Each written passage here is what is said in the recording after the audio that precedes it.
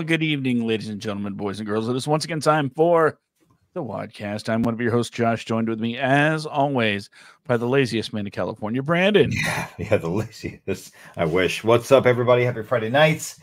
It's good to be back for another show. Um, yeah, it's, it's just good to be able to hang out and have the downtime to be able to discuss things that Josh and I are very passionate about, such as the film and television and entertainment industry altogether. And um, Furbies. And Furbies, yes, yes. And Hello Kitty thongs, too. Um, mm-hmm. I, I like, you know, we are not in a paid partnership with Hello Kitty, nor are we in a paid partnership with a thong manufacturing company. But I would like to say that mine is very comfortable right now. But the, that's not the point. Um, I the point is that we discuss film television, writers, actors, directors, and every single thing in between. And on tonight's episode, we actually have a special guest that um, friend of uh, Josh's actually that he's worked with on a few things. Is that, that is a uh, yeah you yeah you. Would you like to uh, introduce our guest and get him out of the uh, apparent green room? I didn't know that we even had. Yeah, we have we have a green room for guests. You must be new. You, you haven't been backstage. No, no, no, no. I'm in California. Oh well, Okay. Um, well, uh, tonight's special guest is none other than local uh, filmmaker Royce Freeman. And I'll tell you right now, real quick, not to cut you off, but if the green room backstage is is behind me, definitely. definitely. I know, I know what I did. I know what I did. But if the green room is behind me through that door in my office, which would lead into my living room mm-hmm. in Los Angeles, yeah. And you know, Royce is out there waiting for us to like, I'm going to shit myself. You know that, right? Yeah, that's exactly okay. That's exactly how I was gonna Okay, well go ahead. I'm sorry, mm-hmm. please uh, introduce her. Well, I just completely lost my train of thought. Thank you for that. You you, you uh, ended at Freeman. Yeah, it's gone. So uh in anticipation for uh Royce's appearance on the show, sent me a little something for you to uh peruse while uh, we uh, bring him out from the green room. So check this out upcoming project from Royce Freeman.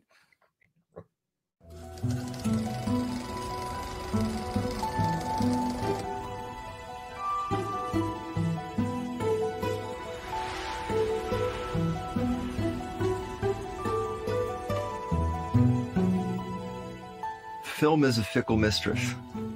Um, you have to kind of decide you know, how much you're going to invest in attracting it, recognizing that it will go away.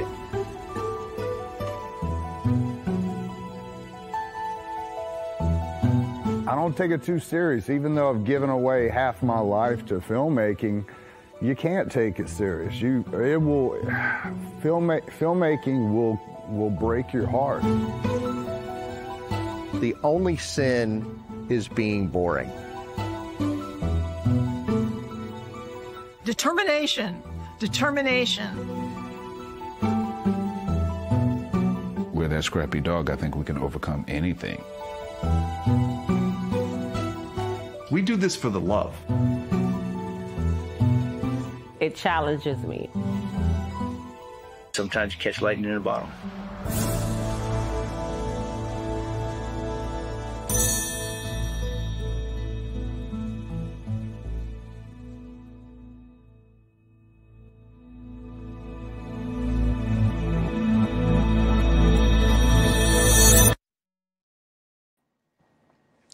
Welcome to the show, Royce. How's it going? Doing all right. Doing all right. Thanks for having well, me. Yeah, welcome back from the green room, i.e., my living room. Apparently, since it's uh, backstage, and backstage would be behind me. Oh yeah, yeah. The green um, room has has nice, uh, delicious beverages. Yeah, yeah, we, yeah. We okay, that's not my living room because I uh, I drink Coke. So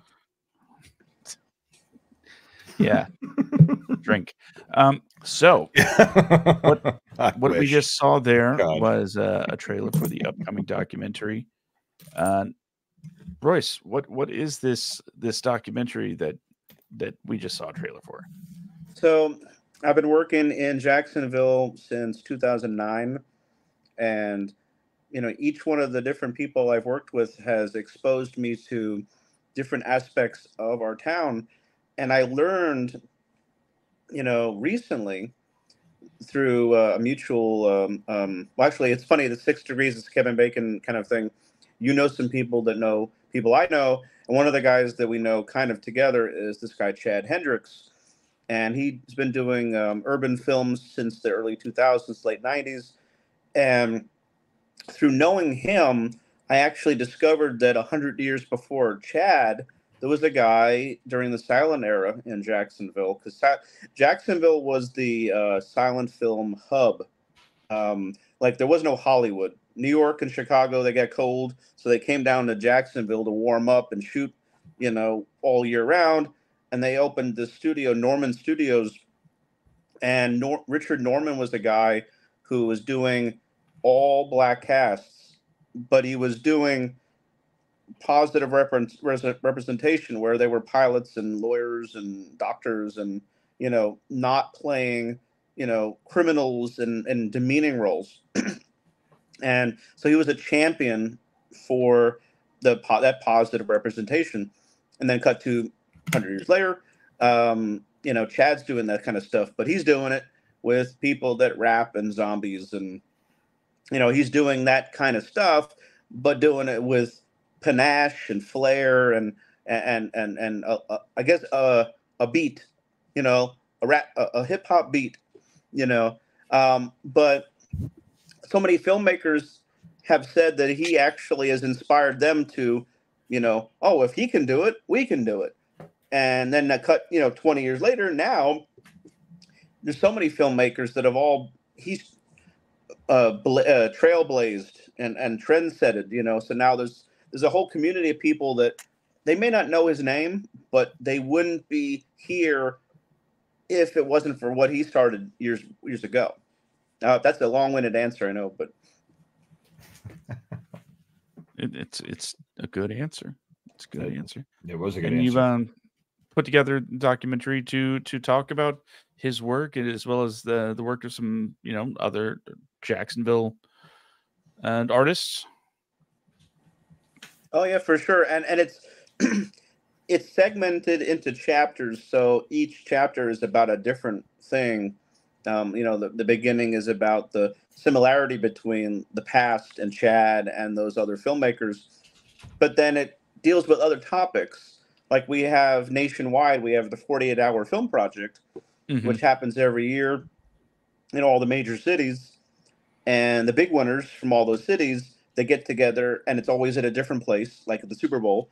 At the end of every year, they have Filmapalooza, which is a place internationally now where because now 48 hour film project is an international festival across mm-hmm. the globe so now they move it around from rotterdam to you know la to orlando and this year coming up is in lisbon portugal hmm. um, and so there's a section that deals with the many different people that have shepherded the 48. Um, then there's other festivals. I don't know if you've ever met Richard Kodai. Um, oh yeah, did... uh, we first met during Shoot the Messenger. Yeah, so Rich, Richard Kodai, he had this thing called the Short Film Showcase back in the, the mid 2010s. I think it was 2014 was the first one, and he did it at Sunray for many years. And just like follow the bouncy ball, if it wasn't for him doing that at Sunray, Adam and Monique Madrid wouldn't have thought of doing the LOL. And yeah, because they started the LOL, they became city producers of the 48. So one thing leads to the next. If there was no Richard Kodai, maybe Adam and Monique wouldn't have gotten to where they are as the city producers of Jacksonville for the 48. Maybe they would have eventually, but they would have come to it maybe a different way. They definitely wouldn't have come up with the LOL. I, I'm definitely sure of that because Monique said that they came up with the idea of the LOL sitting in the back row of Richard Kodai's show. So, you know, it, it, one thing leads to another, and it's it's it's amazing what you discover doing a documentary because I'm a big documentary fan. You know, if I have a choice between buying a Blu-ray that has no special features and then for five, six, seven dollars extra, there's the loaded disc that has the deleted scenes, documentaries, commentaries, all the goodies. I'm going to spend a couple extra bucks to find out how they made the movie. So um, I, I, I guess I discovered that I kind of want to be that guy that tells you how I made the movie. You know, I, I am just I'm really loving this documentary process because it's I can go into it with a mindset of this is the story I want to tell But when you're dealing with real people, they basically write the script. You know, you tell you go in with an idea, but until they start talking, you don't know what's gonna what the story's gonna be. Oh yeah. And this documentary has taken so many different forms over the last year and a half that it's been production. I've restructured the edit a couple of times based on new information because I wanted to tell the most compelling, truthful story.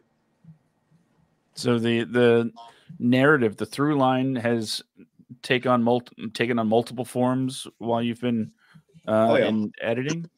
Oh yeah, it was a longer documentary when I didn't have one major component in the documentary, and once I discovered this piece of information, it forced my hand to restructure the um, the documentary into the form it is now, and it's a it's a leaner documentary. It, I I feel it actually it's shorter, but yet it has more information. You know, I just found a way to be streamlining it so it can still tell a lot of stuff, but just moving fast. Okay. So it's like I mean, like the documentary. It's like um, how long have you been working on this now? November of 22. Okay. Oh wow. Okay. So like you know, it's coming up like the, the year and a half mark roughly. Um, and you would, like you would think you would think that everybody would just be dying to be in it, but there's some people that are camera shy, some people that are camera shy unless it's something that they, you know, like spearheaded. Like some people that didn't want to be in it, God bless them. Like I love their work and everything. They are selective about what they're in. So it didn't, you know, that they were supportive from afar of me doing this piece. They just didn't want to be in it. You know, and, See, and uh, one person one person said, "Well, I'm on the upward trajectory and on the rise in some of the things they're trying to do." And they're like, "You know how when a, a, a person is needing to run for some kind of position or whatever, they have a teleprompter. They have somebody writing the speech for them so Yeah. they don't say the wrong thing." Well, I've had Mhm. people say to me, "Well, at my day job, you know, I have certain things going on, or or I'm trying to, you know, get on an upward trajectory with this thing I'm trying to do. I don't want to be put in a position where they're like, I trust you, I, I respect you, all this good stuff. I don't know that I want to be in something where unintentionally my words can be jumbled up somehow and it paints me in a less than desirable light. yeah. And they didn't they didn't think that I would necessarily do that, but they were worried that unintentionally it could happen just based on sometimes if you tell a long story and you have to cut it up for time, you take out all the little in between beats. Well, somehow by com- compacting it or taking a comment out of context, I may not realize the context is so important that taking the comment out of it and just using it as a little filler comment might actually be damning. Yeah, and and some people are worried about that image that they don't want somehow their image to be damning. So some people are selective about if they are part of it, which is fine. I mean, there's so many people to fill in those gaps that the story doesn't seem to miss having certain people in it. Although it would be, you know, if I had my druthers, everybody would be in it.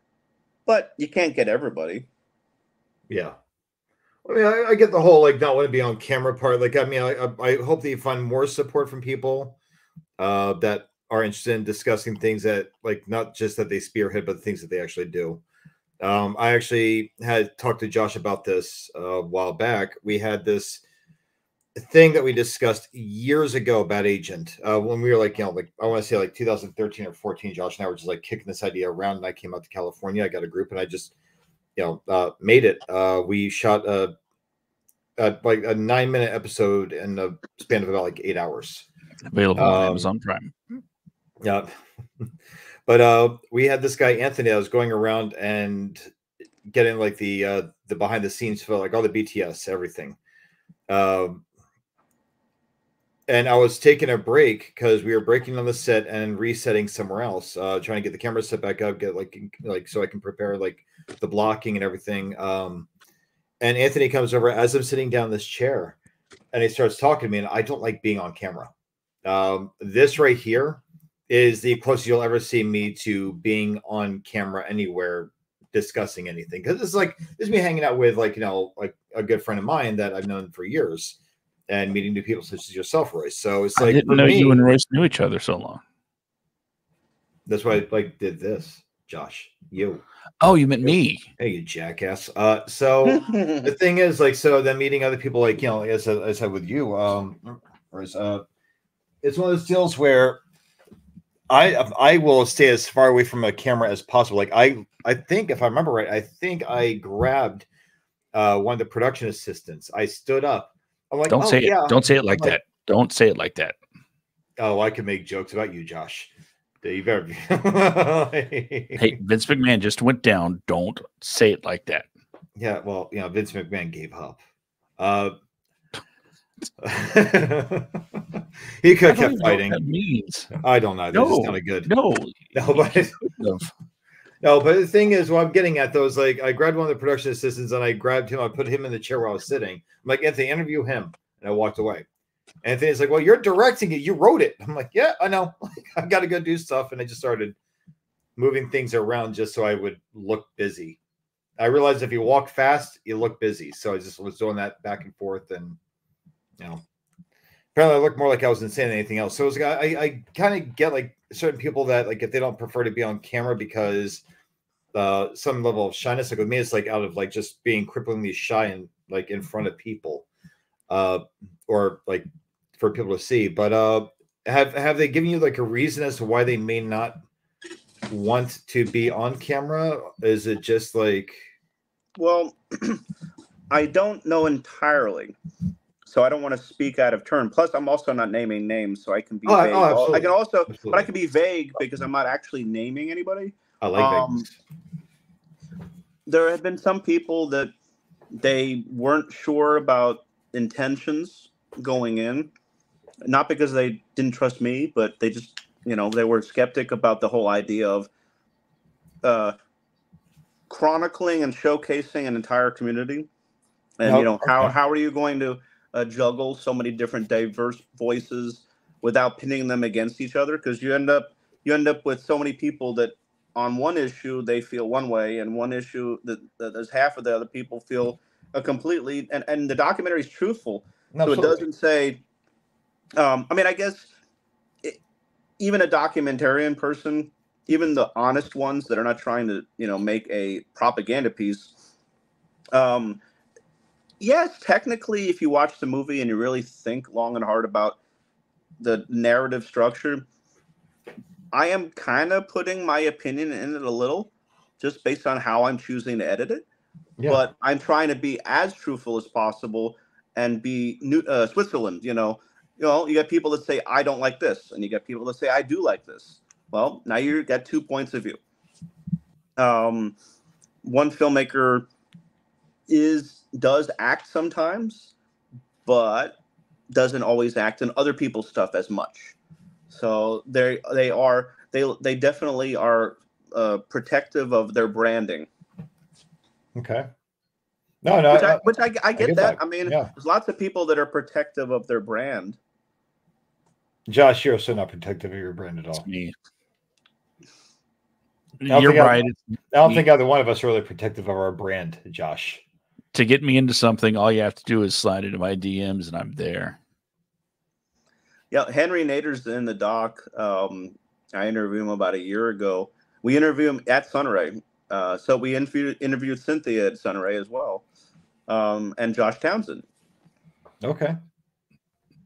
all three uh, people that I uh, enjoy being around very much. And you know what? Uh, you, you've mentioned it a couple times uh, there already. So uh, I'm going to go ahead and shout out Sunray. They've they've been very supportive of you know the Jacksonville film community for Oh, yeah. years. Uh, let's see. The last time I don't remember if if it was before or after Henry had the screening of the exchange there, but it was it was an event. And and I know when it comes to to screening local films, they they don't have to be as supportive as they are, but they always choose to like be there helping everybody out uh, so we all have a great time watching you know the films that are made in our community uh, just have fun. One thing I can speak to um, is I've had plenty of uh, interactions with uh, the people that run the lovely people that run the Sunray, Tim and Shana. Um,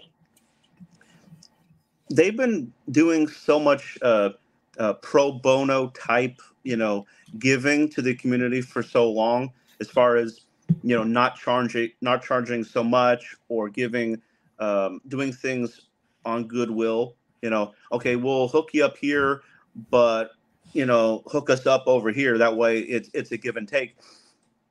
Because the community has been so used to getting all that uh, for so long, the business model at the theater has changed a little, and I completely understand where where they're coming from. Where now they have they have to keep the lights on, so they can't necessarily always be as you know whatever as they used to be. Yeah, but they're still kind about it.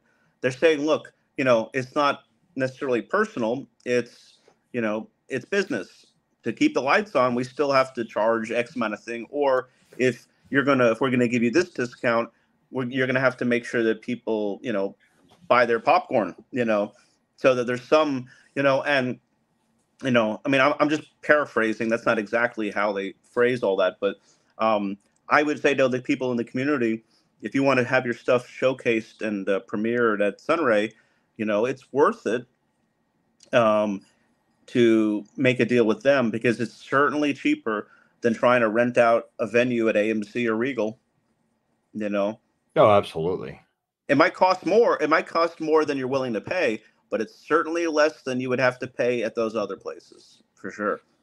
Not. I would also think just the the optics, the the feeling, if oh, you yeah. will, of of having your your you know Jacksonville film community showing up to see a Jacksonville film in a Jacksonville, you know, theater. Oh yeah, has it's a good feeling. Well, R.I.P. Uh, San Marco Theater because that was that was the yeah. oldest oh, theater oh, yeah. in oldest oldest cinema in Jacksonville. Florida theater's older, but um, the oldest cinema in Jacksonville, I think, was the San Marco. And when they closed it for completely business reasons, the landlord, you know, wanting this money, money, money, and and which is mm-hmm. a damn shame because they they just went through a renovation prior to them having to close their doors. you know, yeah. they they turned the place into a palace. It was it was really lavish and nice and all this kind of stuff. They added another auditorium you know, they bought the, the, neighboring storefront, tore down the wall, added a hall, and they just turned it. Now you had two screens, and then something happened uh, that I'm not privy to all the stuff, but something happened that it was all primarily, you know, stupid politics and money. And then so, a landmark of our community is now shut down. And I've been told that even though they might keep the name San Marco on the on the, on the front, I've which I don't know if that's still true, but I heard they're turning it into some kind of a clothing store or some kind of thing that it's like what happened to the you know the, the heritage and the culture and the and and remembering our roots? No people aren't going to walk through san marco area and be like oh that's an amazing department store. You know they're going to they're going to mourn the loss of this cinema house. Well i mean from what i've seen last time i was in uh, florida which was josh when was it? Like uh november i think November something like that. Somewhere around like uh, yeah, because you, you, were supposed to go to South Florida for yes, Thanksgiving. Yes, yes, that's right. I was. Um, yeah, like I mean, I'm I'm a Florida native. Like I'm a Jacksonville native. So it's like with me, um, I was raised between New Jersey and Jacksonville Beach throughout my entire life. Uh, so Jacksonville Beach, like uh, uh from what I saw of Jacksonville, they are changing so much there with the independent. Every well, just like in general, like the entire landscape of Jacksonville is changing uh completely topsy topsy turvy. Uh, so the things that made Jacksonville special, and I, I, heard all about the San Marco Theater. I never got a chance to go there after the renovations because I have not been on that side of town in a long time. But I remember being there when I was younger. Uh, and it was it was an okay theater then. It was like kind of you know, no offense to anyone, but it was kind of a ghetto theater when I was younger. It was like well, it was not a great looking place. But I heard so much about the renovations yeah. Uh, and then I heard about them closing it. I never got a chance to see the renovations after it was. I saw pictures. I'm like, oh, it looks great. I've been in there a couple of times. I went in there when I first moved to Jacksonville, and it was a grindhouse kind of vibe. I went to a midnight. Yes. I, Yes. I went to a midnight screening of the Texas Chainsaw Massacre, and they had a. It, it was they played a shitty old print, so it was all dirty and you know. It, well, it was how you imagine Texas Chainsaw Massacre when you Yeah, watched yeah, it. yeah, yeah. When you watched it on a home video when you were a child, a kid, that shitty, gr- uh, gritty, you know, Yeah. grainy print. Well, that, that was how it looked in the theater. Um, and then when they renovated it, my wife and I uh, went and saw um, the uh, the Murder on the Orient Express when they the, the remake with uh, Kenneth Branagh. Oh Yeah, yeah, we went and saw that. That was that was fun. Uh, a local filmmaker, Franklin Rich, he had a premiere of his movie Teardrop Goodbye, uh, and uh, that was that played at the San Marco Theater. Um, it's it's a, it was a fun little place, um, and San Marco Theater and Sunray are, were completely different as far as the layout and everything, but they both felt like you were stepping into a piece of history. Oh yeah. See, one thing I will say that I adore about Jacksonville is, um, and it comes largely when it comes to uh, independent filmmakers. See, out here in Los Angeles, if you were to make a movie, and I've had I've had us make these expenses a few times, um, but if you're filming something out here, um, and it is six hundred dollars per location per day. So out here, if you want to film, like say, like two locations, um, I think they even said that if it's like facing that way, that's one location. But if you're five steps away from where you're filming, that's considered a second location. If it's Mhm. if it's not by the address, it's a second location. So you need a permit for that location too. So you have to like you know get smart with the filmmaking and everything. But it's six hundred dollars per location per day, so that's like a twelve hundred dollar day. I will say this: what I love about Jacksonville is how supportive they are of the independent film community. You know, they are changing the landscape not so much what like i don't want to say that they're changing like how films are made but they're changing the landscape. They're like again my hometown like jacksonville beach is unrecognizable these days compared to what it was say even like 13 years ago. I mean, on like Um, third, third, third Street in Jax Beach. yeah yeah i was Yeah. uh my yeah my family all lived off of uh what was it uh 13th street north. No um, more off of off of uh off of penman road and uh beach boulevard like just go down penman road get to like you know whatever. So that's over Um, by um the Jax Beach. That was like uh, Joe's Crab Shack and, and Yeah. stuff like that. Yeah. Yep. Yeah. Um, but uh, like you, they're changing a lot. Like while they're changing the landscape and making it borderline unrecognizable to me, which breaks my heart every time I see more changes there. Um, I will say I I cherish and adore the fact that they have kept it to where they do not charge for permits for filmmaking. I love that about Jacksonville because I mean I was like you know Josh and I were like this whole bad agent thing. We were right. We wrote out like uh, like Josh, myself, and uh, the actor that played the lead character uh, Simon in the series. Um, the actor, this, this actor's name is Brian Wallace. You know, friend of the show, friend of mine, great dude, a really really cool guy. Um, we were writing this and we were talking to Brian about maybe filming it in Jacksonville because there are parts of Jacksonville that look almost identical to parts of Los Angeles. Um, it's almost uncanny at times. But uh, and that's only because of the fact that for us to set up a film crew and everything else, it'd be cheaper for me to fly like a few of the actors to Florida and film there without any permits whatsoever. Or I'm sorry, uh, film with uh, the like you know non, I guess like the the free permits as I call them, like just like you just have to file for the things. Uh, but beyond that, like it's just like yeah, like I, I heard about um, other things that they've been changing. I've uh, kept up to date on a few things. I like the fact that there are, I, I believe that there are a few more festivals that people are trying to put together, at least like coordinates. Uh, not so much in Jacksonville, but in Northeast Florida and uh, even Southern Georgia. But I love how filmmaking friendly Jacksonville's become over the years. I love how it's actually become like its own thing over the last, like I want to say, like ten to fifteen years. Like film, independent filmmaking is really you know skyrocketed in Jacksonville in the last like decade and a half. Um, so I want to ask you, where are you from originally? Because you said like when you moved to Jacksonville. Well, I am uh, all over the East Coast. Uh, Okay. I was raised in New York, Okay. and then in, as a teenager, I lived in uh, Miami until my early 20s, and then I moved up to Jacksonville, uh, Orange Park area. No, okay. Oh, in Josh's neck of the woods, nearby there. Yeah, yeah, more or less. Yeah. So, I mean, like, so, yeah. so, I mean, what, what got you into filmmaking? my dad was a photographer when before I was born, um, and he dealt with 35 millimeter, 16 millimeter. You know, he may have dealt with eight millimeter. I don't actually know, Yeah. but um, but he's dealt with film his whole life until he got out of the film business. Uh, but he in New York was was he had his own company and he, he's worked for other people, but he had his own company. He freelanced and did a lot of stuff. And when I was a kid, you know, before going into formal schooling and also on, you know, snow days, you know, being from up north, you Yep. from Jersey, from Jersey, you know about uh, the snow days Oh, yeah. that uh, you know when there was no school he might he might take me also to his office so I, I sat there and, and drew and played on the computer and watched him do stuff in his film studio. So i got to watch him splice film and deal with he had a, uh, a the camera points down on a, uh stand and you would frame by frame animate. So you know he could do uh, stop motion and um, animation stuff like that. But you know 40 something years 30 something 40 years ago. So i don't rem- remember entirely all the finer details but i know Yeah. that my informative years was going to the office when i was a way really young kid watching him do pretend and and making his art. Um, and then you know when i was in high school and in middle school and high school i took creative writing for many years and then i started getting into writing screenplays.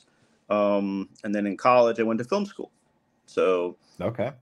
uh, my dad retired formally from film before we went to miami um, and then he did computer programming for a long time when i um, was in college and then started doing my own films my dad kind of started helping me you know and the price is right you know i got my dad's services and expertise for free Oh, yeah. so uh, ever since I've been working with my dad, um, you know, we've been uh, I, my company Freeman Films, and uh, it's father and son working together, and uh, he puts this extra sheen and gloss and style on um, on his on the work that I do. And some people have said that uh, the projects that he doesn't work on with me, the ones that he uh, uh, wasn't able to or whatever, Yeah. even if they don't even if they don't see his name not on it they see that it's a different feel. It's a different style you know if i have someone else assisting me with some of the post work. Um, i'm sure that i would only guess that when you were speaking to henry nader because his father is a musician and he got raised in that environment and his you know his wife is an artist and you know it's an art artistic family that i'm sure henry was informed by watching his dad you know create his art. Um, and it's the same is true for me i wouldn't be who i am well i wouldn't be i wouldn't be me at all if my dad never met my mother you know Yeah. but uh, if my dad wasn't a filmmaker i don't think i would be who i am i might be pushing a pencil somewhere in an office maybe not being as fulfilled Okay. Wondering what the best stapler is. yeah yeah yeah they took my red stapler Excuse me, you you you, you took my safety.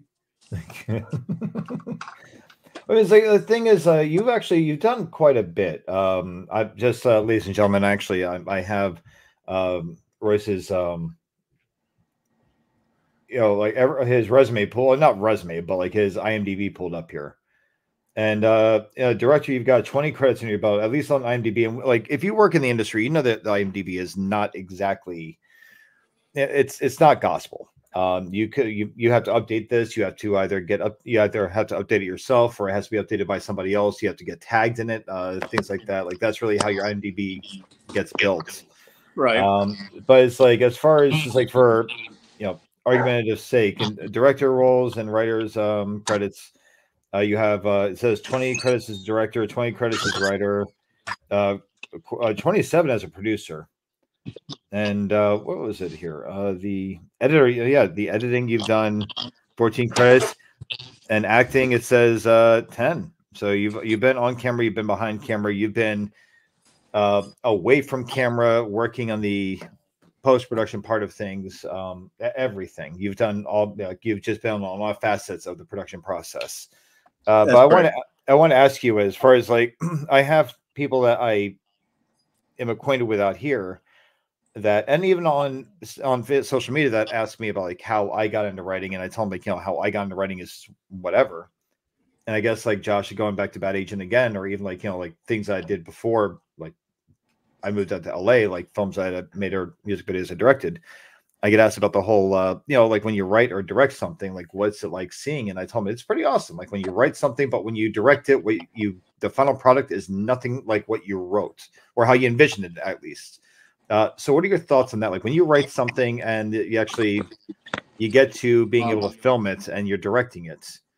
Uh, what are your thoughts like when you're seeing it go down? Is, are you seeing it like, oh, this is exactly how I imagined it, or is like, okay, this is not what I wanted, but I want to make the best of what I have with this to where I can make it better. Like, how do you look at things throughout the filmmaking process after you write something?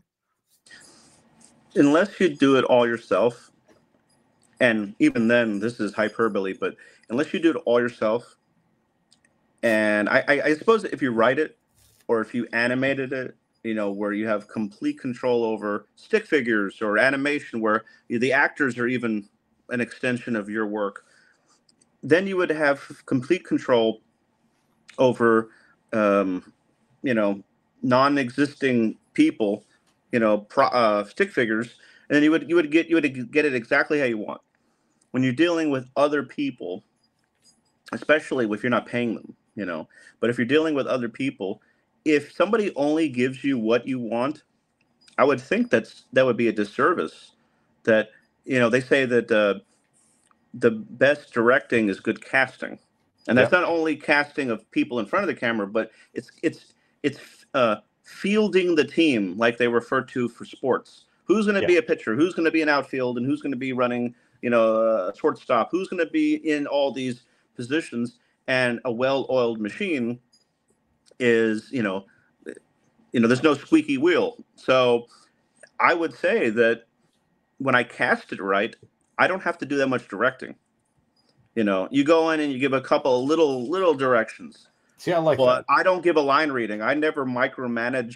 And if I know somebody needs a little nudge, but they're also self-conscious, I try to nudge them in the direction of what I'm hoping for, you know, and not blatantly say, "Do it this way." And I'm sure there's directors that will eventually get frustrated and say, "Do it, just do it this way," and I, I don't do that. Um, I try to find a, a sideways way around that to get what I want. Um, and then same thing with the crew. I've uh, if you get a good cinematographer who you like their style. I mean, you you don't want to ask um, a painter who is an impressionistic painter to be to paint you something that is a different kind of it, whatever their style is. You don't want to get a cinematographer that's good for doing one thing and ask them to do something they just don't do. Yeah. and they get and they get frustrated when they can't you know? If you don't if you want somebody that can do what you're looking for then you get the person that can do that. You know that's already good at doing that.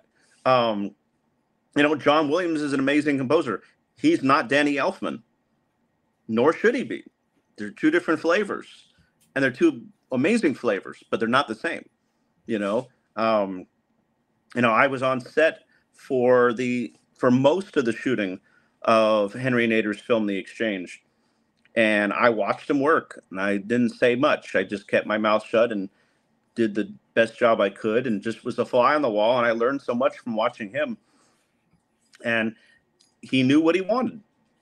And he worked around people that knew that knew how to give him what he wanted, but he also left left room for people to uh, uh, interpret a little and to contribute Yeah. because he realized you know he realized that we had so much to offer that he maybe didn't wasn't even aware of that we could do um it was one time i was setting up uh you know J- J- uh, chitty knows some of these same people uh when cynthia and gordo you know when we were dealing with setting up lighting especially i think at, at gordon's house when we were doing stuff at gordon's house um when we were doing that stuff the uh, I know they were dealing with a million things, So I had to set help set up some lights, and they basically said, just do what you feel you need to do.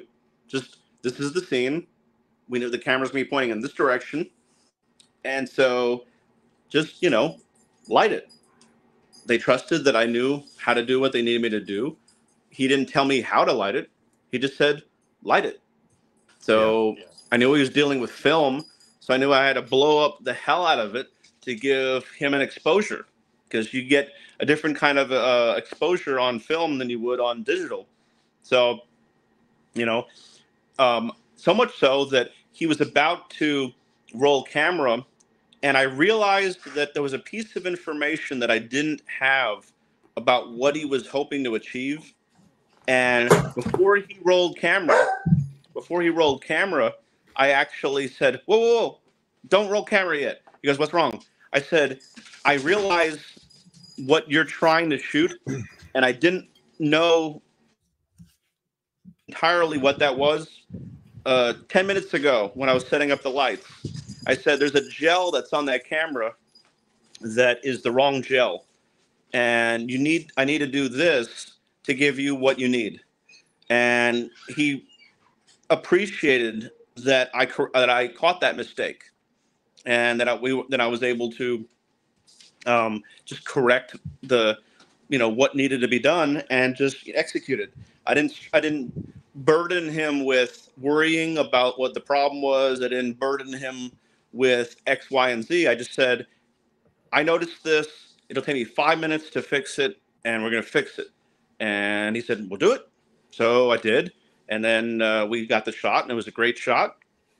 And so, but it's it's great when you have a, a team that trusts each other and also, um, you know, gives the respect. Because I, I think that most people will give you the shirt off their back if they can. You know, I mean, if you know, the, but but most people will give you the shirt off their back if they just know that you're going to appreciate the efforts that you know. Some people they walk around and you know they stick their hand out and they want things, but they're never even going to thank you for it. And I never felt a single day on the set of Henry's movie where he didn't feel he I always saw him appreciating and thanking everybody that was giving their time. He thanked everybody when we all showed up and when we worked the wee hours of the night, we were dead on our feet. Those who were left standing, uh, he all he just thanked us, and you, know, you got the bro hug and the handshake and the you know the he what is it the the, the, the they say he gave everybody their flowers okay josh do you have any questions you're you're you're still muted well yeah of course i'm muted you because i didn't want to you know have my i just i just feel like i have to remind you that you're muted because you keep forgetting that you're muted okay that's true talking all that smack before the show even started. It was like like I could hear a damn thing you were saying. So uh mm-hmm. Mm-hmm. Okay, I'm gonna I'll toss this out there. I don't know if anybody else felt this way working on um Henry's projects and and I, I laugh every time I think about it bit, but as as an actor, you know, for for Henry and and like you said before, he uses film. Yeah. He he's he's like keeping it alive around here. Every time I'm about to go, I'm like, I, I think to myself, oh Lord, this is costing money. I can't screw up. I can't screw up. And um, so far, I haven't been slapped. so I guess I'm doing okay. But, you know, it, it is, uh, you know, it's, it's, it's in the back of your mind that you know, because it's you know it's shooting film and you know digital. It's like take 537. We'll get it eventually. But no, when you're when you're paying for the processing for actual cells, it's something else. But you, you mentioned something earlier about you know tight knit teams, tight knit teams, people people calling on each other, and and in that regard, I've definitely seen the the film community in Jacksonville sort of um, rallying uh, at, at several points to just to make sure you know somebody's vision can can be brought to life. Uh, one name uh, and and one job in particular, I I think I've been hearing come up uh, more frequently is Royce Freeman and cinematography. It seems it seems Royce, you've uh, I don't know bec- become a go-to for some people to to kind of get get these shots.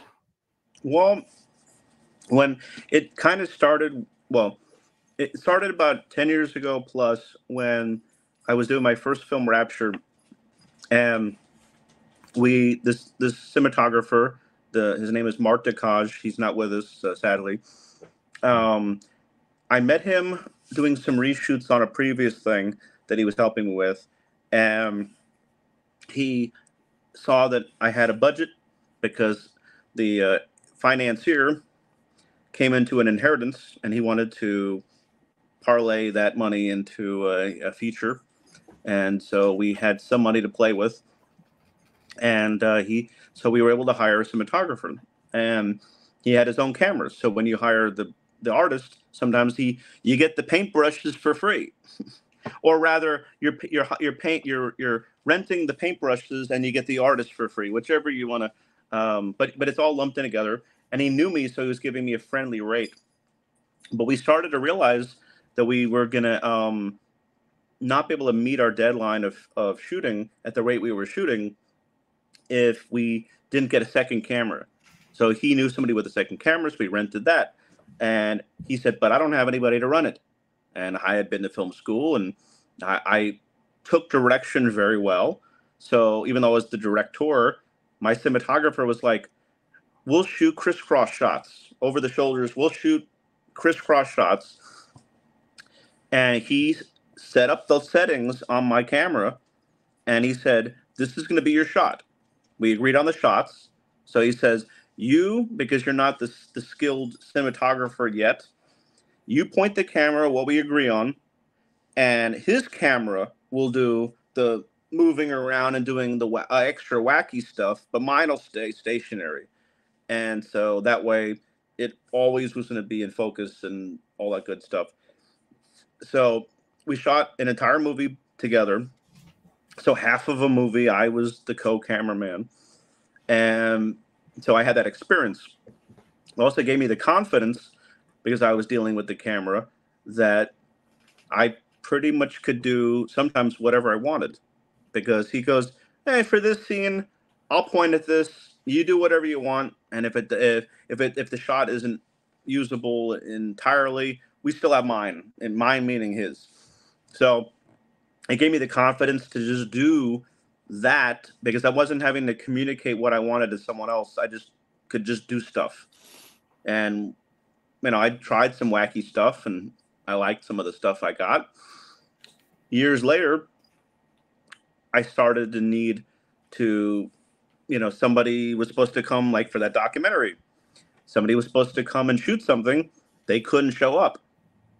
I just so happened the universe knew seemed to know that was going to happen. Um, I have a habit of when I finish a film shoot, it's much like when you go on a vacation and you forget to unpack because you're tired or whatever.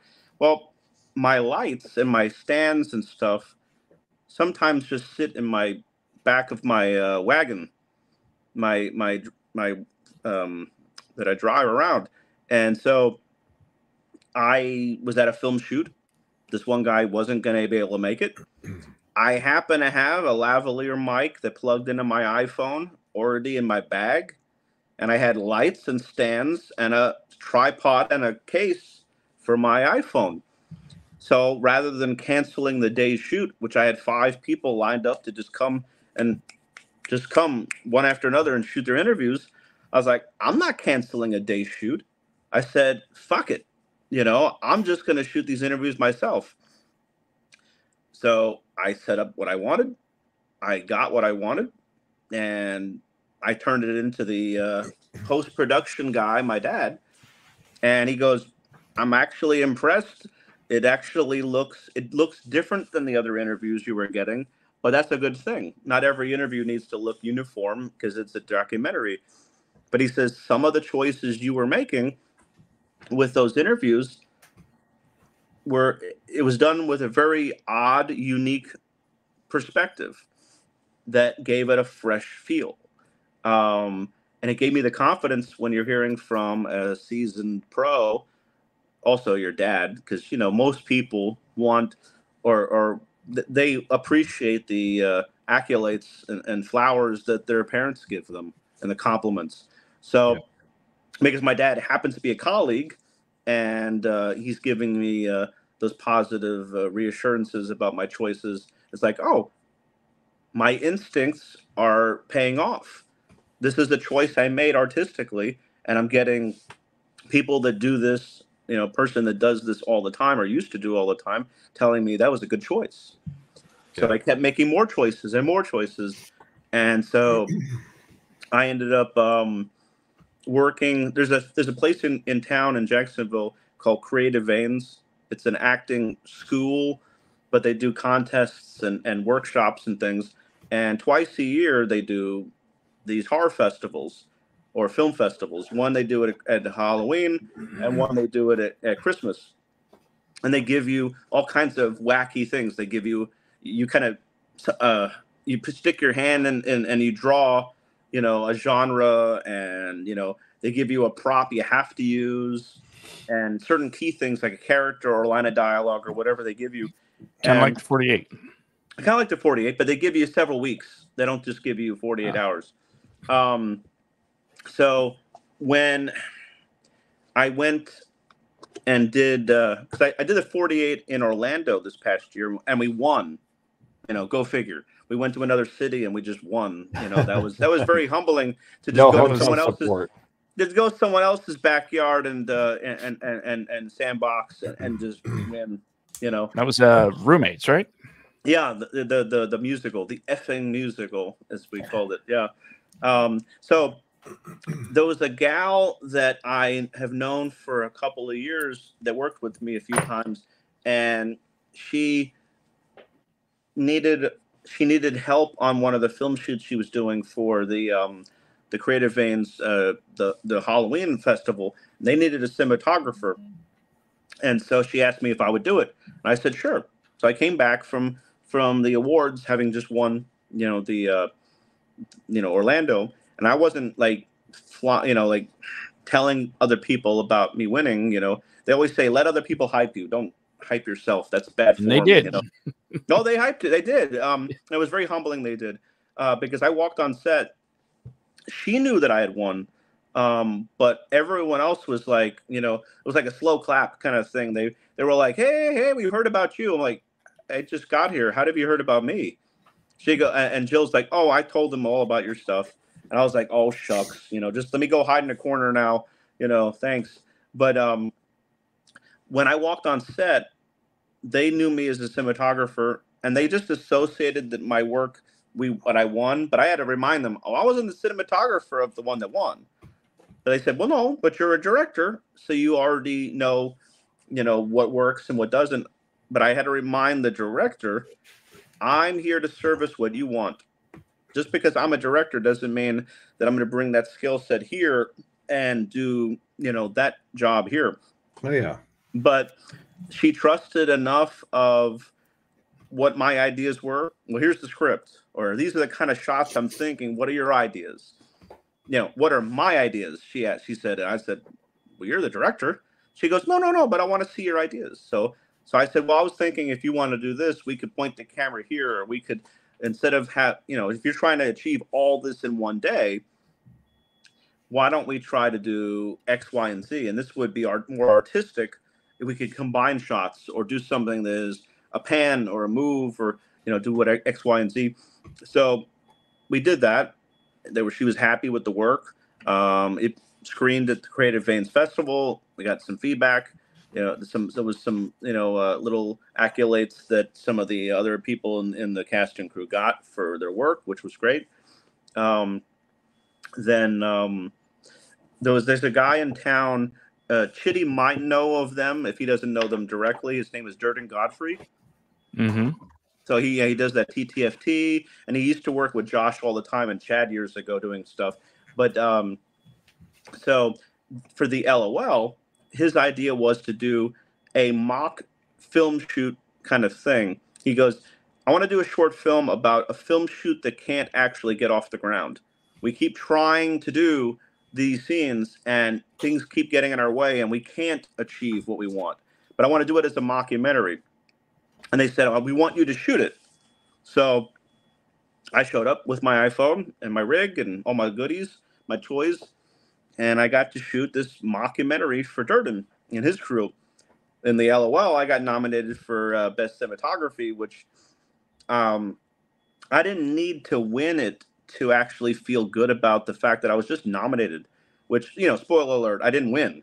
Which, but I didn't need to win because just just knowing that I would that that people appreciated the work, good. And I had people coming up to me at the awards and saying, "It doesn't matter that you didn't win, you got nominated. That's something." and just doing that just kept motivating me to try to do more. Um, and then you know I got asked to be the cinematographer for the same team again for the the Christmas one for Creative Veins. Now I had fun doing that. Um, but uh, yeah, it, every time I think I know everything, you know, I, I I keep I keep growing with each project and learning and and of course when you work with new people, they push you to grow more. So, okay. We we know a little bit about uh, being nominated. Oh yeah, yeah. Maybe we should have gone. Maybe we should have gone to Orlando with our shit. to Orlando with our uh, with our show. this is I don't know if you... this is something you probably won't hear a lot of winners say there was so many good films that were also nominated in addition to ours that when it came down to the top three, because they, they get they have five nominations, right? Nominees. So that just like with the Jacksonville one, they're like, and the third place winner is, and they called the third place winner. And me and my friend David, who was the co-producer, he was acting in it. Um, we were like, wow, that film is only third place we liked it a lot. We thought it was going to get higher placement. And then they're like, and the second winner, the second place is. And then they listed another film. We are like, huh, that film is second place. So when we get uh, time slowed down because when it got to, it's like, and the winner is. Well, it could have been us or two other films. And those two other films were also good. We felt it's an it, it it sucks that you can only have one winner because we thought as much as we were happy that we got you know picked to win that we were like on a good day another one of those other films could have beat us. I mean those were really good films. So i don't think it's imposter syndrome. We're happy we won but those are judges. And if i was one of the judges i would have the third or second place winners I they could you could have easily made one of them a winner. I mean, they were so good.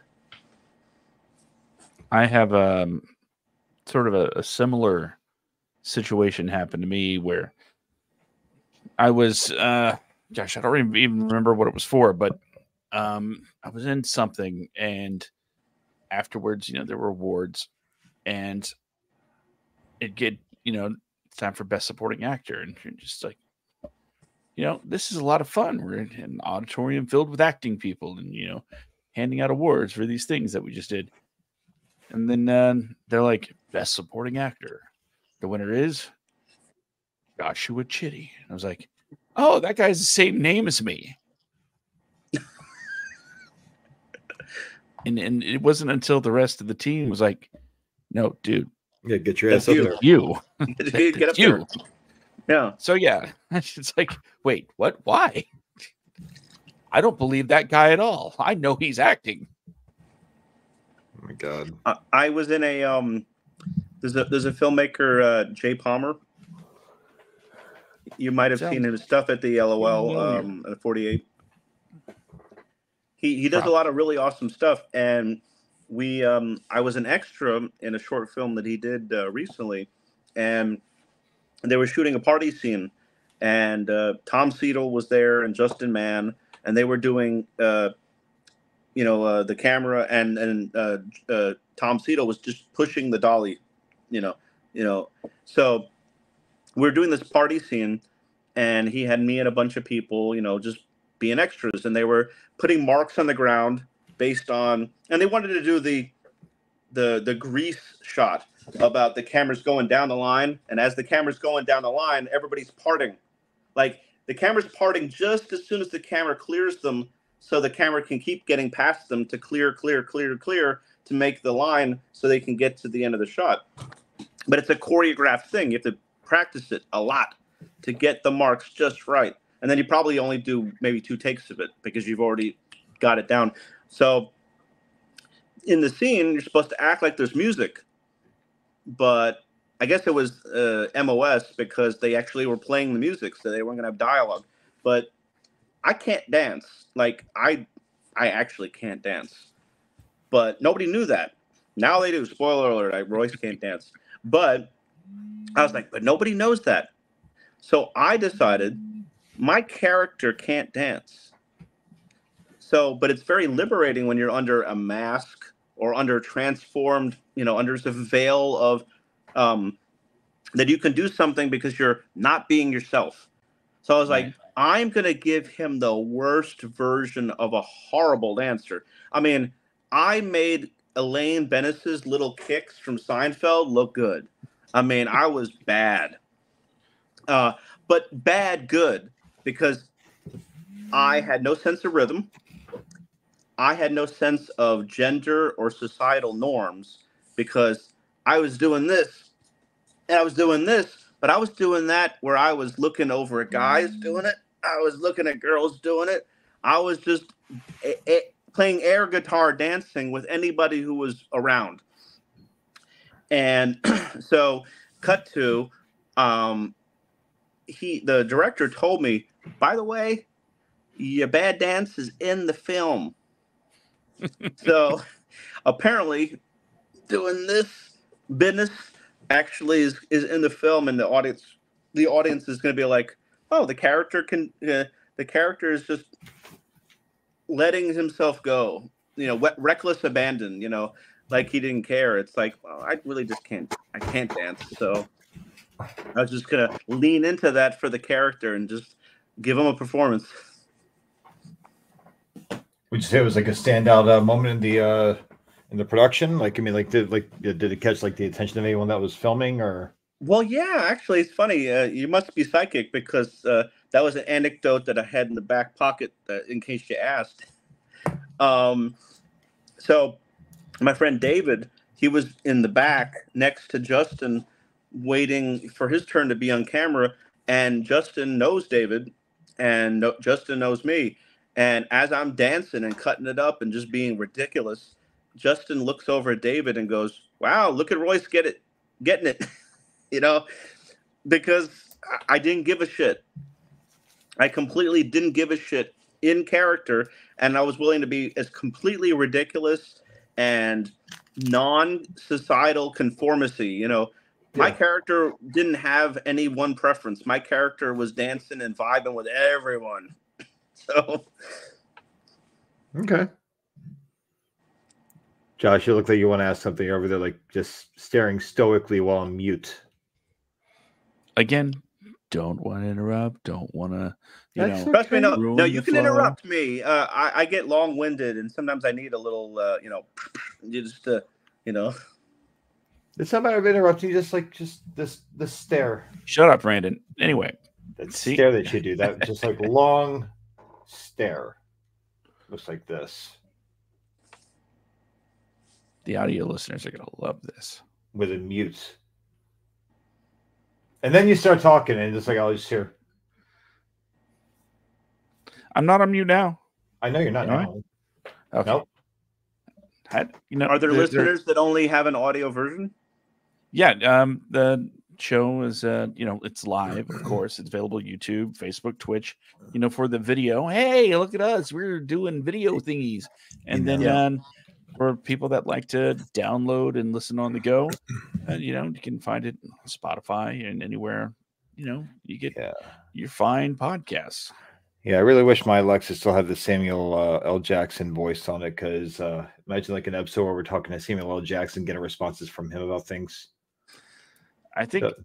at some point though, with this new uh SAG contract, we'd actually have to start paying him. So maybe it's a good thing we don't have Sam Jackson voice on the show anymore. Oh, fair I, enough. I'm wondering, can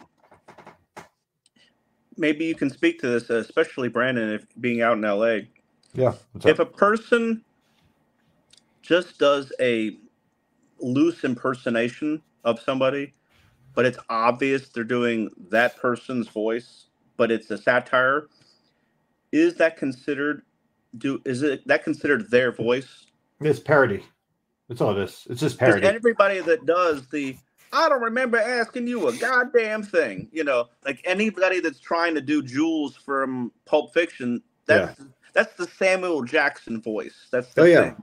Well, yeah. When we look look at uh, things like in Living Color, there's um there's a like a, a realer story on Facebook that's making its rounds, and it was from uh, when Paul Reubens got himself arrested in that theater way back in the '90s, and Jim Rest Carrey, huh? Nothing. Oh, but uh, Jim Carrey uh, did a skit dressed and so dressed and impersonating uh, Pee Wee Herman. Yeah. So it's like eh, it's just it's just parody. That's all it is. It falls under parody if you're just like mimicking somebody or like just doing their voice. You know, I wonder how how do they know? Because okay, Weird Al is doing Mhm. parody songs. People know because he's doing he's replacing the lyrics, and the songs are wacky. But is it a parody if it's not funny? no, no. It's it's like it's just like I mean it's just pretty much like a uh like if it's just pretend to be like uh, to have that it's a speech pattern. That's all it is. Speech pattern, voice, and things like Yeah. that. I mean. There are people that I have a similar speech pattern to. Josh has a very similar speech pattern to a few, quite a few people I know out here. Uh, I so don't think so. Yeah, see, uh, and this one sounds just like that. He's uh, you know, homeless guy in Venice Beach. But uh yeah. Nice way, nice try to get away. Nice, nice attempt to get away, get around that little, you know, thing there, Josh. But you Do do, you sound ever uh, Parody of myself. Do you ever run into um, people that have any degree of fame living out there and working in the business that you might be at Starbucks getting a coffee or being yeah. somewhere and you happen to bump into someone who's like, "Oh shit, that's that's such and such." oh yeah, multiple times, multiple times. What's the Um, etiquette that generally the celebrities, if they're not, if they're not on the job and they're just trying to live their life, they're getting a fucking cup of coffee or whatever, is the general consensus is don't even say hi to them. They don't want to be bothered. I or mean, how, like- how do you gauge that? I mean, honestly, with me, I don't get starstruck. Um, I've, I've, there's this place out here called the um, Cantina of Scum and Villainy. It's where Kevin Smith, Kevin uh, Smith and yeah, yeah, yeah, they they host their podcast there and everything like that. Um, I've been there multiple times. I've run into Seth Green multiple times there, and uh, just first time I ran into him, I uh, you know he was outside. He was getting bum rushed by fans when he stepped outside to just get a uh, just get away from like a crowded bar. Um, I stepped outside to smoke, and you know like, hey man, love Robot Chicken. He's like, oh, Robot Chicken loves you too. I'm like, oh, that's cool. Like I, I ran into him like way back in the day when I worked at MTV, where he said the same thing, like, "Oh yeah, I love Family Guy," and like you know, like Seth, uh, you know, like um, Seth and Fro was like, "Oh, Family Guy loves you too." So it was, it was just like a callback to that, like which cracked me up. Uh, but I ran into him um, a few times there because it's like one of his spots. You actually have a few celebrities that go there, like you know these themed places out here. Uh, the Beetle House, LA. I've seen uh, like I've seen celebrities at the Beetle House. Uh, it's just like a you know uh like it's three hundred dollars per like you know for the night basically four course dinner and Tim Burton themed restaurant. Uh freak show Beetle Beetlejuice is hosting the damn thing. So you have people like I'm a guy here, but like the general consensus from what I see is like when I ran to uh, Seth Green the second time, I was just like, "Hey man, love your work." Like, "Oh, thanks," and I walked away. That's it. The Uh, work just- loves you too. yeah, work loves you too. But um what I see is like if you just like acknowledge that they that you think that they're doing a good job for the most part, the ones I dealt with, that said stuff like that too. It's been a very positive reaction. Like, hey, yeah, thank you, man. Uh, I forget his name. The British dude that uh, plays Lucifer in the show Lucifer. Uh, Oh, ran yeah. into him, ran into him at uh, Runyon Canyon going for a hike, and uh, yeah, Did you I- find him, accost him, and say, "How come she didn't know for three years I didn't did. acknowledge?" I did, I did. I told him I was like, love, love Lucifer. That detective is the dumbest detective in L.A. County. Three years, she didn't, she didn't know you're Lucifer, and I just kept walking. He just started laughing. Uh, it's just like know took her three damn years. what sucks is you have people that they get to uh, any level of fame. I mean, I'm not a conspiracy theory nut, but there's so many people that have certain levels of fame that it's, it's a, probably a good idea not to besmirch them. So we just say in general, there's people that are celebrities that are talk show hosts, or they uh, they are considered the richest woman in America in the world. You know, Oh, yeah. whatever whoever that might be. But uh, Oprah it me? Winfrey. oh, I didn't say I didn't say that name Oh, I did. but did. uh, no, but um, but you hear that there's so many people that are very famous, and they got famous because of, you know, well, it takes fans to make you famous, Absolutely. and so, Yeah. but these people that if you work on their staff, even in the morning, passing them in the hall, you you can't even say good morning to them. They don't. In fact, if they don't speak to you first, you're not allowed to talk to them. And Yeah, they claim that's because they're if if they're walking down their hall, they have a they have a place they're going to, and their mind is on a million other things, and they don't want to be distracted or bothered. So if they stop to say hi to you, then you can say hi. But you actually will get in trouble or fired if you speak to certain of these hosts and and interfere and bother them. oh yeah. And I I can't. It's a Jennifer easy to say Lopez what you has it. if you you were so Jennifer Lopez has it in uh, her that? clause where, um, like, I think what she was doing, she was um, helping out with American Idol for a little bit. I think it was Jennifer Lopez. yeah Was it Jennifer Lopez? yeah Okay. She has it. She J- had. yeah, She had. and, uh, she had in her clause where if you were on the crew, you could not look her in the eye. Uh, Dr. Phil, if he is walking down the hallway, you were to step to the side and let him walk past you. you Don't- get out of my way, okay? Yeah, don't don't walk. Uh, I've don't heard walk. Steve Harvey's the same way. Oh yeah, I, I I don't know. I've never I've never I only know what I've heard of with these people from I people don't that know work how with them. anybody can make eye, Um, con- eye contact with Steve Harvey. Uh, I'd just be staring at a mustache. The whole Yeah, the mustache. Yeah. Mustache and big old muscle looking ears.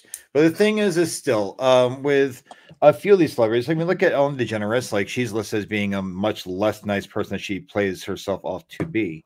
Uh, But but, look at me, for the I'm most part, yeah. For the most part, from what I've seen out here, the people that I've run into, the celebrities I've run into, or even have spoken to, um, have been very just as like I mean, I don't, I don't hound them, uh, but I've seen people like, oh my god, that's this person. They're running towards them and everything else. Uh, the only time I've ever gotten any disgusted look by anyone, it was not from a celebrity. It was from an admirer of a celebrity, and that was from when Betty White passed away. Um, Oh God. that was only because I won a bet that she would not make it out of 2020 live. Um, and my reaction to finally winning a bet. Um, it's sad that she passed away. Oh, you say that now, but I, I, I was saying it happened- then. It's very. I, I know. I was like, I'm owed a lot of money right now because we finally put money down on this one. That's been like a long running thing for like 12 years with me and my friends. Like, oh yeah, but if like, what, what's your, what do you foresee happening in like this year? I was like, one friend's like, oh, uh, this is going to happen. Another friend, this is going to happen. Jags are going to win the Super Bowl. This is like, Brad, what do you think? Uh, Betty White's going to die. It's it, it looks like it's her time, and this has gone back for like 15 years now. Just as a as a long running gag, this this particular year in 2021, we actually put money on it, Oof. and I won because it was December. wanna It was I wouldn't wanna December win that 31st. It was I don't want to win December. It was December 31st. And uh I just there was a helicopter on West uh in on um in West Hollywood with people gathered like down the street. I thought someone got hit or something like that. And I also was like, what, what's going on? I was like, Betty White died. I'm like, oh my God, I won the bets. And it's just like, I had to walk away because I was getting like dirty, dirty looks. Uh, I just, it was just like, just, you know, brain to mouth, no filter, no nothing, just poof, like just came right out. Uh, I was a very, very, then I never collected the money because I felt really horrible about pursuing that. Um, you know, it is a lot of money, but still, um, that, that's the dirtiest look I've ever gotten from anyone out here. But when it comes to other things, like as far as celebrities out here, I, I've like most of the time, if you just like give them the respect, knowing that they're just people with a much more, a, a much higher paying job that's just cooler than yours, they're laid back. They're actually, for the most part, really cool. Yeah, some that are dicks, but you know what sucks is some people they may never get the opportunity to meet that celebrity again, so they forget that these people are just regular people, and they're like, I don't know if it's considered 100% selfish, but those people are like, I may never get a chance to meet this person again. So I want to talk to them and try to make an, a, a, a moment out of it, an experience of it. And the other person, the celebrity, it might be just in a hurry to get a cup of coffee and go. So yeah. you might be uh, interfering with what they had planned. So they might be unintentionally rude to you, and it might completely ruin your now your impression of who this celebrity is when you when they're human like us, they're regular people just like us. So you've put them on this pedestal. You're like, oh my god, I'm gonna meet Kevin Smith or I'm gonna meet whoever, and you meet them, and maybe you're meeting them when they're preoccupied or they're having a bad day or whatever, and they're not entirely a dick to you, but they're not 100% nice. And then you misinterpret what they mean. Uh, give oh. you a little anecdote. Um, so I went up to um, New Jersey huh? uh, for my birthday several years ago, and you know I went into Red Bank, New Jersey, and my wife and I we went and we were like, oh, there's a comic book shop here, and this is owned by Kevin Smith. Yeah, the Secret Stash. Yeah, so we went in there, and I really don't know who the celebrity, who this person was, so I'm, I'm not claiming to point a finger, but I can tell you the experience I had. So I went in there, my wife and I, and uh, we knew that they also shot uh, part of Chasing Amy down the street at a record shop, and that was a park that they shot this. So there was some things around Red Bank besides the secret stash. So we went in there. We were going to buy like a little memorabilia tchotchke, and they, I think they had a map of where to find other stuff. You know, where to find the quick stop. You know, in the Highlands. You know, and where to find other stuff. And so there was a guy behind the counter He's got a really big beard, so I didn't recognize his face. And so first I said, you know, hey, uh, you know, um, you know, uh, great stuff here, big fan. Oh yeah, thanks, man. You know, just you know, just whatever, you know, whatever. And then as I'm checking out, I, you know, said, so I hear they shot some of the Kevin Smith movies around here and he and he stopped and took a beat, and he looked at me and he goes, "Get the fuck out of here! What kind of fan are you, huh? I thought you were a fan. A fan would know where they shot the stuff." And he completely was like he went from being cordial to, and I haven't been up in New New England, New York, New Jersey area for a long time, so I forget that up there they don't have the southern charm kind of oh, thing. No. No, oh, yeah, I was, so I was raised there, in New Jersey. We do, we definitely do not. No, so up there, they say, "Hey, go fuck yourself," you know, or if you lived in Boston, it's like, "Hey, go fuck yourself." So you know, but so basically, you know, he was on one hand probably just being cheeky in his own way, but at the same time, he was he went from the fact that I was that I was a fan to now I was being ignorant as a fan. He's like, "What kind of fan are you? If you were a fan, you would know where, you know, blah blah blah." So I left with that experience of, huh. I went into the celebrity shop and there was somebody that worked there that I have a sneaking suspicion that he's probably been in some of the movies. You know, I don't know, but um, he he treated me in a way that I wasn't expecting. He might have just been cheeky or trying to be like, oh, I'll just give them a taste of the movies, you know, by giving some of that irreverent Jersey flavor. But um, I don't know if you've ever had an experience like that where you met somebody who may or may not have been a celebrity, or Bill Murray. What was your experience with Bill Murray? Uh, it didn't start off good. Um, I had a relative that worked at his family's restaurant um, in St. Augustine. Oh yeah, the the, Mur- So- the Caddyshack. the Murray Brothers Caddyshack, and he was, um, you know, he was there.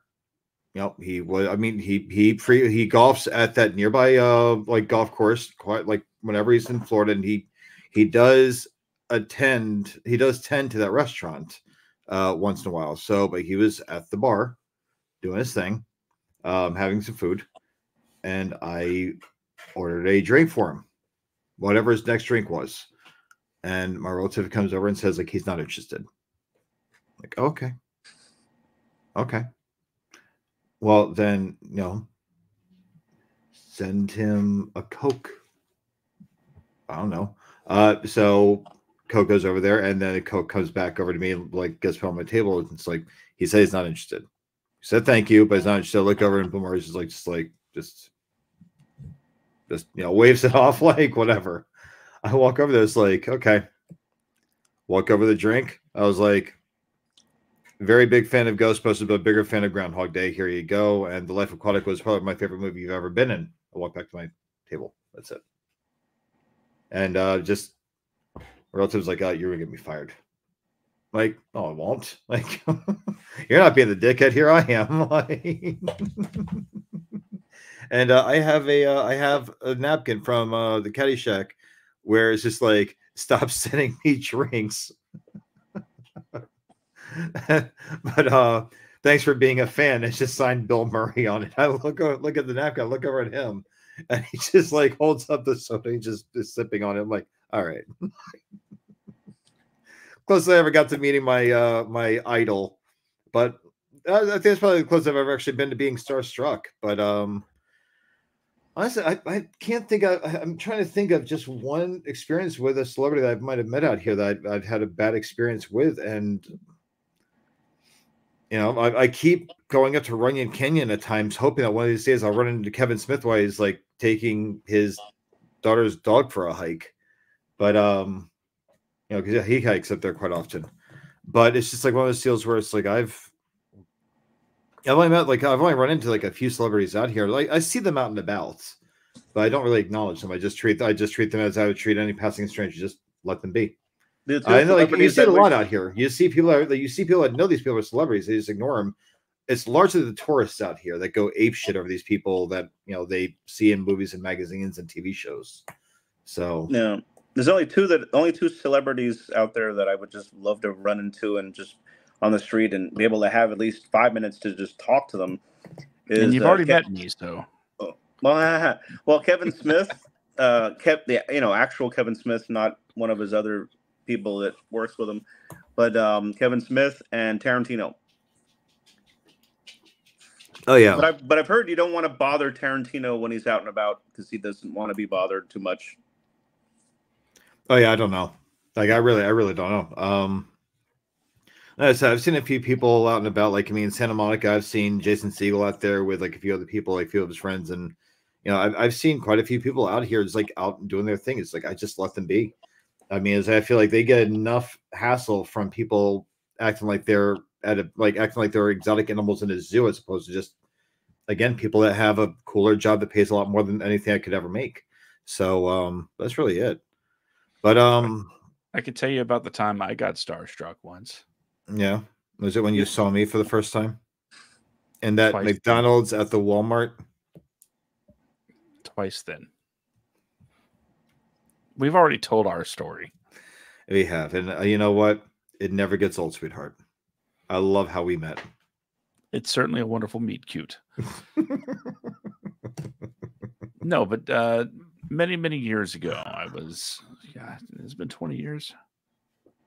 Ah.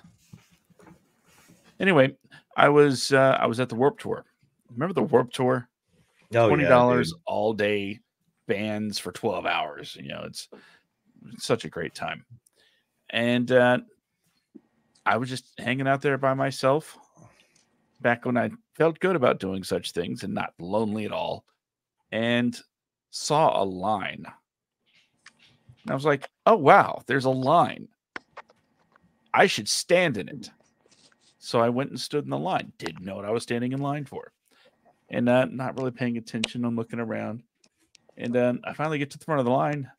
I turn and I look and I'm like, ah! because sitting in front of me across a table is Reel Big Fish. The band. Yeah, I know. Yeah, I know who they are. And I'm just like, jaws like agape. And uh, Aaron Barrett stands up, gives gives like a smirk, and just juts out his hand. I'm like, how does Aaron Barrett's like, let's go. And then um, um that was that. I, was, I just, I, what? How did that happen? Uh, I'm a fan in case uh, you guys could tell. Big fan, big fan, real big fish. And the only celebrities the, I've ever met it. are uh, going to horror conventions, and you know they're at the tables and they sign your stuff. Um, I don't know. I mean, that counts. It does count that you met them, but they're literally sitting at a table designed for you to meet them. You're not. You're not bumping into them. they're there for that reason.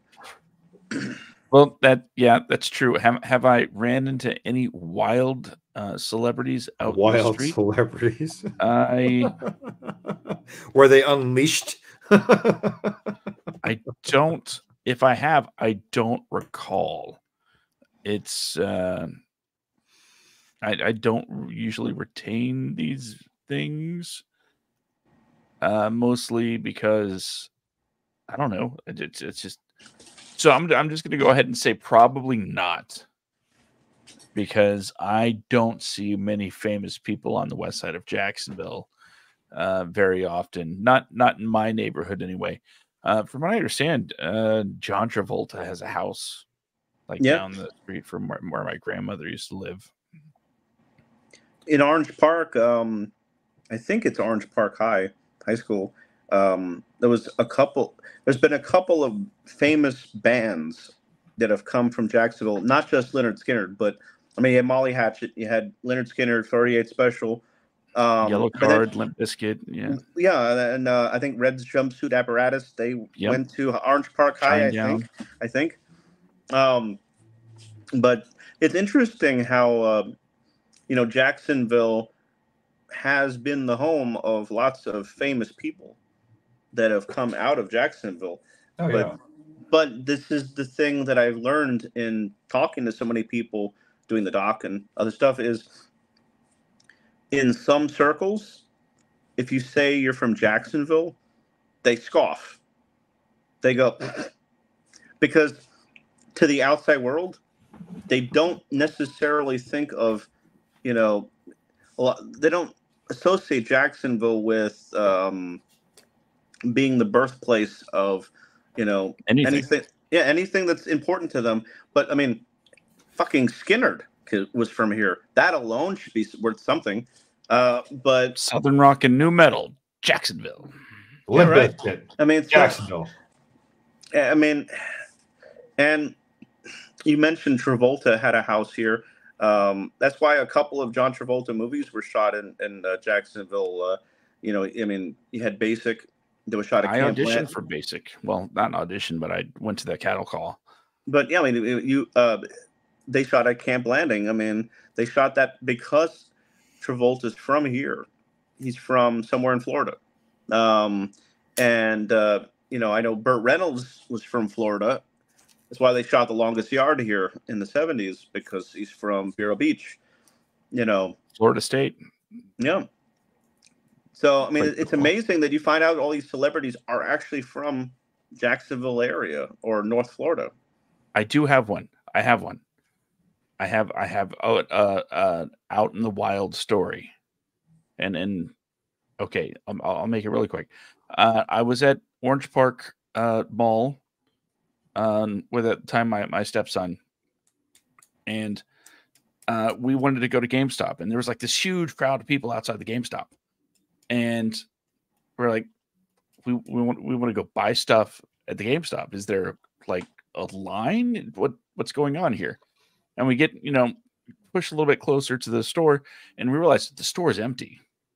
Yeah, people are just crowded out like in the in the general mall area, and like the store has like two people in it, and plus staff. So I'm like, okay, so we just walk in, you know, grab the stuff we want, head to the counter where this guy is, and um, you know, chat him up for a bit uh, because the, the the staff is like like bending over backwards to make this make make sure this kid because you know to me he seemed like a kid uh probably was a kid i don't know. Um but you know they were bending over backwards to make sure he was taken care of. And then uh, he leaves and when he goes the crowd goes with him. Oh wow. And i'm like what just happened? And the store manager's like oh my god oh my god i don't know. And, and one of the younger employees was like you were just talking to rich homie quan. I'm like oh. Who is that? Who? Yeah. Like he's a rapper. I was like oh. Oh, oh okay That's okay cool. that sure oh and you were talking to him yeah, you know, he was in line. Yeah, I did what I normally do. And if things are taking a while, wow, it's taking a while. Yeah. yeah. Make friends. It's better than just standing there quietly or sitting on a podcast, just staring at each other like this.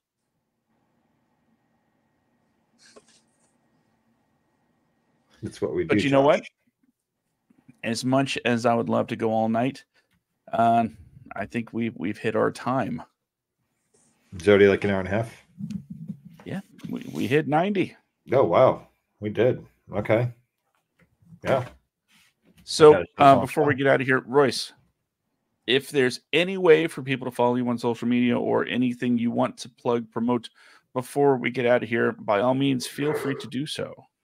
Well, um, I have two feature movies on Tubi, and you can also rent them on Amazon uh, uh, Video but they're on Tubi. Uh, one is called In Utero, just like just like the Nirvana album, but it's not about Nirvana. Um, but and then the other one's called Rapture. If you look those up, and my name Royce Freeman, because I think there's multiple movies with the name Rapture and In Utero and stuff. But um, but, but they're both grindhouse horror movies, so they're not for the faint of heart. They're not for the PC crowd for sure, because they were done down and dirty, Rob Zombie style, very 70s grit so you know they're not they're not your, uh, they're not for they're not for the people that are they get offended easily. Um, they can find me on Vimeo. You look up Freeman Films, and they have a, just a channel there. And on Facebook, you can look up Freeman Films. Um, the link is Facebook, you know, uh, dot com. Filmmaker Royce Freeman is the link, but uh, the uh, just look up Freeman Films and it's got my logo. It's a really cool '70s uh, old school logo. Um, and you can, go, you can go on there and you can see all the links to the the different videos and films. Where we haven't put up the 48 we did from Orlando yet because we're going to Lisbon in March uh, for Filmapalooza. So we're figured after the ceremony and after all that, then we'll put it up. Um, but it's it's really fun. It, it's really fun. Um, it's a wacky good time. Uh, on my Facebook and Vimeo channel, you can see all kinds of uh, short films and uh, promos and videos and stuff I've done. Um, even though I've done those two uh, gritty horror movies, um, you know, I've done comedies and I've done wacky projects of all genres. So, you know, I like to try different stuff because that's how you stretch your muscles and you know you grow is get outside your comfort zone. You know. Yeah. Okay. What about us, Brandon? Where can people find the Wadcast? Oh, okay. I, I, thought you were going to take the reins of that one this week. Well, you can follow you can find the Wadcast on uh, Instagram at instagram.com backslash the Wadcast. Same with Facebook, facebook.com backslash the Wadcast. Uh, or just go to the search uh, icon if you don't want to go onto a computer and use an actual web browser. Just go to the apps, just go to the search and type in the Wadcast, and you'll know us because we will have an icon that has the word the Wadcast in it. Um, but behind, like in front of the Wadcast, is a picture of myself and Josh. Uh, except for except for on the Instagram page, the Instagram page is just a, the classic Wadcast logo, black uh, background, white banner with Wadcast writers, actors, directors written in it. Uh, you can also find us on Threads. Uh, but that's pretty much uh, it. That's where you can find us. If you want to follow me, you're welcome to do so. I really, I don't really follow back at all. Um, but uh, my username is right here in the box, uh, bjacksman1982. Type that in, you'll see a picture of my face with next to Josh. That is my profile picture. Yes, Josh, you were in my profile picture on Instagram. Uh, Facebook, forget it. I've got plenty of uh, friend requests in there. I'm, it's not going to happen. Um, but you can follow me on Instagram, bjacksman1982. Um, and yeah, that's really it. I guess you can also follow us on TikTok, but there's only like three videos on there so far. I've not had the time to keep up with all of our social media. Um, and as of right now, I don't have the money to hire some little, you know, pimple faced kid to master our social media presence. So I have three in this house that I can. Then tell them to get to work. Uh, I will. Like, what's the point of having kids if you're not going to subject them to slave labor? That's what I've been saying. Then tell them to do it. I didn't know you wanted me to. Yes. Be like, My- yo, my kids, kid's do three. some work, earn your kit. My kid's three years old, so Yeah. you know we're. uh I get eventually he will be a part of the family business. So eventually he'll be put to work. Yeah, yeah. So by the time he's like, uh, by the time he's seventy, he's gonna be out front cutting grass as an intern. you know, so that's where you can find us. Um, and Josh might be putting uh his kids into uh child labor camps to uh get our social medias in check. So, Josh, I you? prefer Where- child labor day spas. Okay, yeah, yeah. day spas. Sound, sounds a Okay. lot better than camp. But don't like forget, you can always go to wadcomedia.com to, to find out Yeah. what links are, I guess, because that doesn't get updated at all. Yeah, no, that's it. It's all been the same for a while I now. I don't know why I keep go to wadcomedia.com. That's where you'll find all the links to the other stuff that we, we oh my actually update. god. And uh, you know, if you want to buy something, hey, we got shirts and stuff. There's also a Patreon. Don't go to the Patreon because it'll make me have to do stuff. And I don't want to do stuff.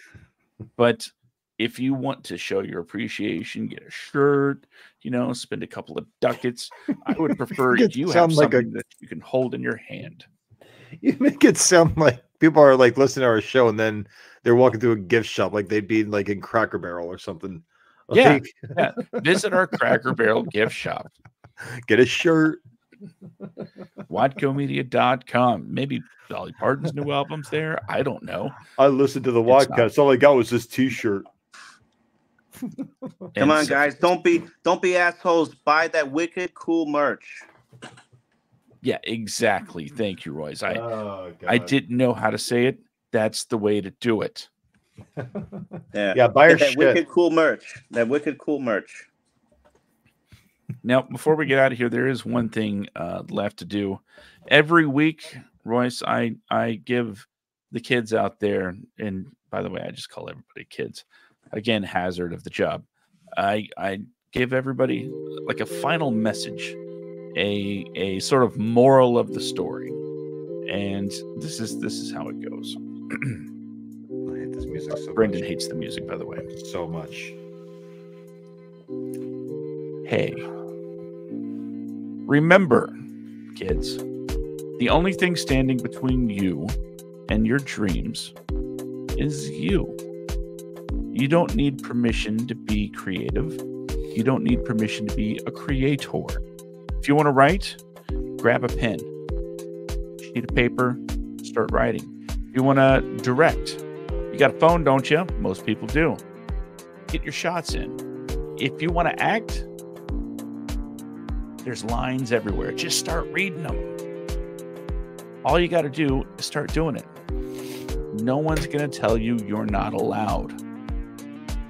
After time, who knows where that'll take you. But it all starts with you getting out of your own way.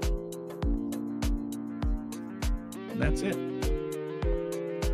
I want to thank everybody for joining us here tonight for the Wadcast episode number 160. Thank you, Royce, for being our very special guest. And dare I say, for your first visit of hopefully many more to come. Oh yeah, I mean I got uh, I'm a chatterbox and I love I got the gift of gab, so I love I would I welcome the opportunity to come back on and, and talk about other stuff. We should talk about other other films, you know, so, uh, other than my stuff. You know, we could it'd be, it'd be fun to talk about some films that are coming out, some films that are retro that we grew up on. That'd be fun. Okay, You just described the podcast. there you go. So, uh, once again, thank you everybody for joining us here tonight. For those of you that are uh, watching and listening live, hey, it's late. Go to bed. For those of you that have uh, downloaded the show, don't forget to rate, review, subscribe, smash that button. Uh, I don't know which one. Just start smashing buttons. That that things happen. And Live uh, long and prosper. I don't know how to close it any better than that. Have a good night, everybody. Good night.